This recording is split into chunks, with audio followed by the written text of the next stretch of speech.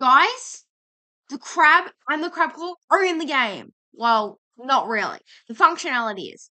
So we can change our distance reach. So if we type attribute pick game nine, so target me, Minecraft.generic.block un, uh, underscore interaction underscore range, and then base oops base set, and then ten. Then the ten the ten is the value. The base the default value is four point five. If we change it to ten, then you you you can already you can already see it. Oh, oh no no no! I can place and interact with blocks from ten blocks away. That's look here. I can interact with this sign. Uh, yeah, yeah, yeah. I can interact with this sign from ten blocks away. That's that's great. But the default, like I mentioned before, is four point five, and then long, um, ten. I don't, I don't know the minimum or the maximum, but yep, ten seems to be pretty high. and the short range, you can set it to one.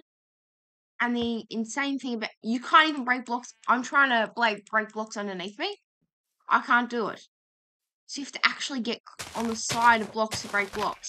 That's actually pretty cool.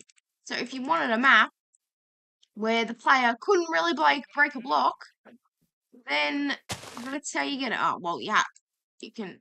You can obviously you can break glass, but glass, grass, but yeah. So yeah, now why why was this added into the game even though the crab claw was voted out or the crab was voted out?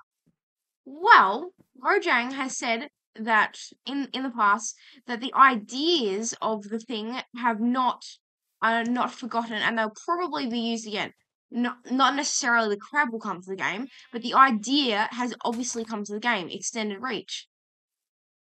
Now, you can do this with a command, you can probably do this with an item. So imagine imagine this is an imaginary I oh imagine this is an imaginary item put it in my offhand, and then I have long.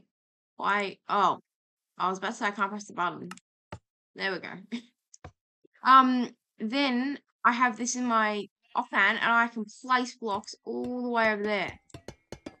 I mean, that that would be normal reach now, but like this could be what Mojang is trying to do, and this also could be what this trial key does maybe this trial key somehow extends your range if you put it in your fan or something like that. I don't know. I, I think, personally, I think it's like highly unlikely that's going to happen, but I don't know. It's go away grass block. It's, it's a theory that I've seen lately. So maybe. Anyway, guys, I hope you enjoyed my theorizing.